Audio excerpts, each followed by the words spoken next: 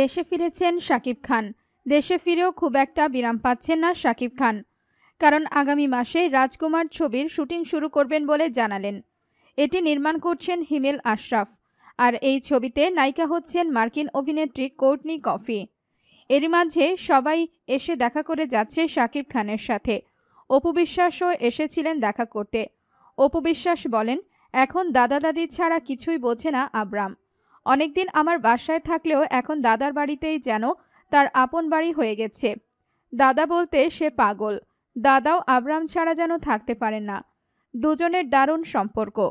সেজন্যই আব্রামের দাদার বাড়িতে যাই।